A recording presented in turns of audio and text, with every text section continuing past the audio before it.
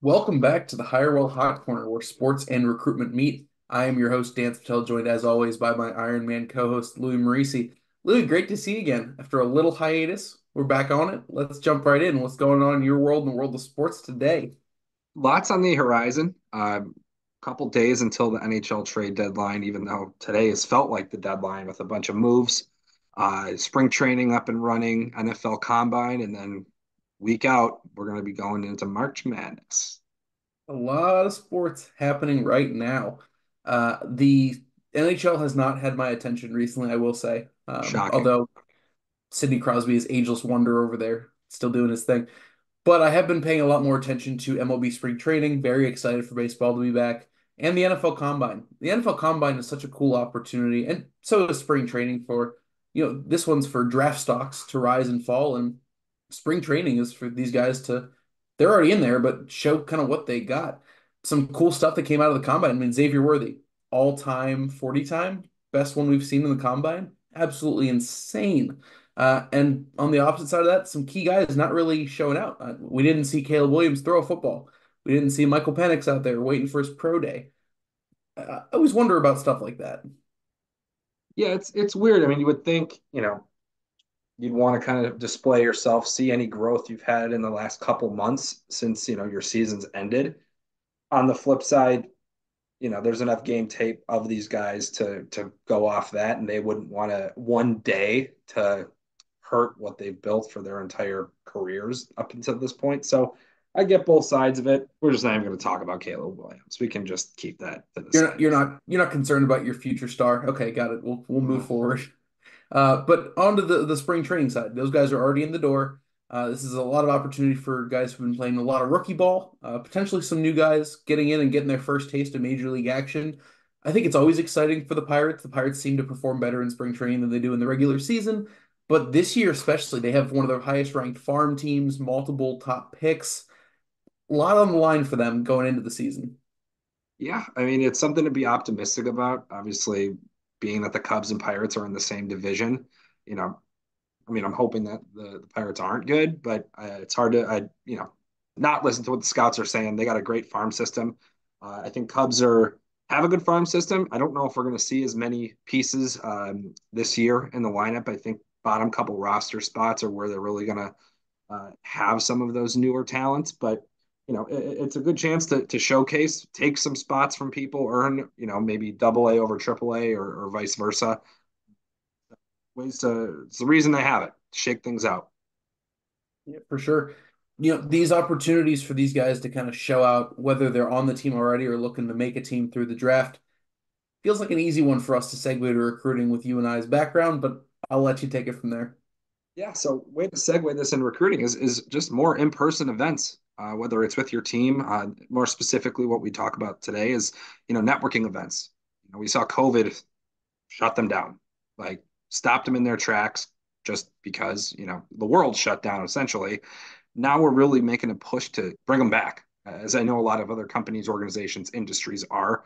Um, and it's about how, how you can be effective. And let's face it, business tends to go a little bit smoother, create better relationships when you have that in person portion. Totally agree with you. We're seeing the move back from fully remote to in office hybrid setups from a lot of companies. Some people are happy about them, some people aren't.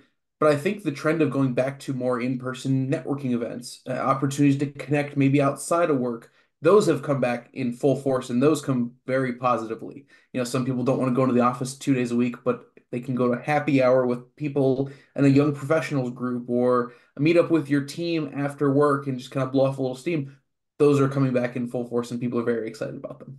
Absolutely. And I think it's just really rejuvenating. You know, I know we did, I think it was either maybe late November, we had our all company kind of get together team building event. And I left there like wanting to to be in person a little bit more and not only just with our team but uh, again meeting with clients and recently joined the mentor program and that's one thing my mentor and I are working on is is really how we can develop bigger and better relationships with clients and those in-person showings they, they they tend to show that that's the way to do it.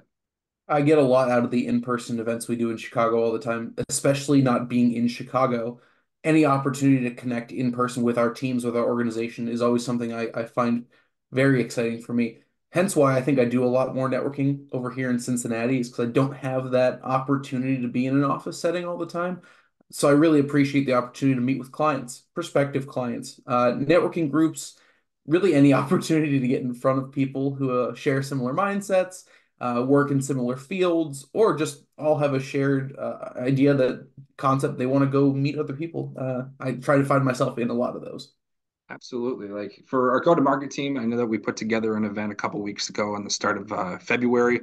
You know, sales contacts, marketing contacts in the Chicago area, just kind of a get together. You know, we're doing a little bit of a shakeup uh, internally, kind of rebranding and, and repositioning what our teams look like. And what better way to to take that to market than actually take it to market? like, you know, talk with people, just get familiarity. You know, this is what we're up to lately. What are you up to? And you know, not only that and creating relationships, but learning. You know, you learn a lot from people who have been in this industry for a long time outside of just the folks in your company. It's good to see different perspectives from people from different industries and whatnot. Yeah, and on my end, when I moved to Cincinnati and started working for Hirewell, one of the things I said was, well, this is a new network for me personally, a whole whole new world uh, to get involved with. And not only was Hirewell understanding and accommodating to that and saying, go out there, you know, build out your network. I think there's been a renewed sense of commitment to the Cincinnati market now. You know, we're we're big in Chicago. It's our bread and butter. It's our home. It's what we do, and we've expanded out nationally in a few different regions. But I've really felt this renewed commitment to the Midwest and, and to Cincinnati through our leadership, through programming we're doing, and just building out a client base here, which has been so cool to see. Yeah, like we, we really have. Obviously, again, you mentioned Chicago's kind of our hub. It's where we started. But seeing you in Cincinnati, uh, Phil Muldoon down in Atlanta, uh, then we got you know the, the, Collective Search and Rainmakers, a lot of it based out of California. These areas that we're making huge strides in, and, and not going to say we're setting up satellite offices, but essentially just building out our, our repertoire, building out our Rolodex in those areas, and word travels around those areas pretty quickly. It's no joke that I know we already touched on it that people prefer meeting in person. It's somewhat easier to do business in person. Let's look at it from the candidate side, like we always do. Outside of the camaraderie and maybe a drink or two, what's the sell to get people who are maybe looking for new work to get to these events and, and go network themselves in person? More options. I will say a lot of times you can gauge someone a little bit better in person, uh, get their personality, understand what motivates them, see their drive through facial expression, just how they present themselves there's a lot more that you can do to sell yourself in person than through a video or through a phone call. So going out, shaking hands, having a drink, meeting people in your field um, opens more doors, creates better relationships, and provides more opportunities. All three things that are very positive. Just don't drink no too much. No, absolutely. No question there. And oftentimes you hear people say it's not always what you know, it's who you know what better way to find more people to know than through those networking events? And I know we touch on it a lot that we try to paint the picture of our candidates beyond what's just on a resume. What better way to do that than to put a face to a name and be able to speak to your experience in a very informal, casual setting? It's those types of very intimate conversations that really give you an idea of what the person is is like and what they're looking for and what they might be like to work with. Yeah, I mean, guards kind of down if it's not in a strict Zoom, like suit and tie, just looking at a screen and trying to think of what they're going to ask you next. It, it, can be a lot more casual, free flowing type of conversation. And, and, you do get to, to see a person, you know, more of their true colors. Cause yeah, let's face it, a resume is only going to tell you so much. Uh, a lot of the times we're starting to see you know, the in-person portion of interviews be based on culture fit. So this is a great way to, to show how you're a team player, how you'd interact, pick up on social cues? Are you going to be comfortable with the people you work with? So again, just benefiting you and, and your ability to open opportunities and doors.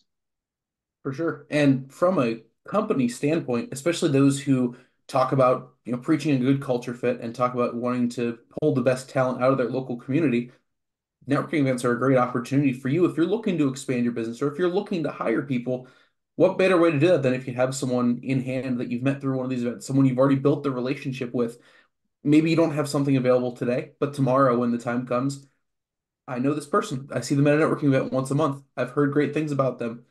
Easy in the door for us. So from a business standpoint, you know, it's great to be able to go market yourself if you're really looking for a job, but you're always going to need people. You're always going to need a network. And so any opportunity to do so, just regardless of the situation you're in, worth taking, in my opinion. You're you're spot on. It never hurts to put yourself out there. Um, you know, the more people you meet, the more people you talk to, the the wider your network grows. And you know, it, again, it's just going back to it's only going to benefit you and, and provide more opportunities than if you didn't go. Uh, jump into the two minute drill because I think it's going to be a little bit longer than two minutes this time because I want to cover a couple things. Absolutely. Uh, first, first question is what are you most excited about, either from the NFL Combine or spring training? Uh, and you know, what's your favorite thing about networking? What's your favorite networking event to go to in your area? We're covering it all today. Okay, so I'll give you a little bit of everything. So for the MLB, uh, Matt Shaw listed as a shortstop uh, for the Cubs, but I think you know he has a shot to potentially come in and, and make it the team as a third baseman. Um, granted, we have a few options, but still, you know, I think he's one prospect I'm really looking forward to. NFL, I don't know if this counts, but Marvin Harrison Jr. I want him to be a Bear so bad. I don't care what his combine. I just want him to be a Bear. So that's the only thing I care about right now. Fingers crossed, Justin Fields comes back. Uh, and then lastly, favorite networking or what's up next. I'd love to go to more manufacturing industrial conferences and events, um, whether it's maybe a trade show, uh, going and attending and you know shaking some hands, meeting some people at different booths uh, or if it's more of a, a, happy hour mingle in that type of industry. Uh, it's something I've really tried to build out as far as my Rolodex, my, my client base, my relationships. So hoping that would be the next one on, the horizon for me. Great stuff. Baseball wise, like I said, the Pirates have a lot of top prospects in spring training right now. Uh, Henry Davis was retooling his swing over the offseason. He's got home runs in three straight games. Termarr Johnson, the 19 year old, I showed you a video of his power. Uh, kid can hit a baseball a lot of uh, pop. A lot of pop.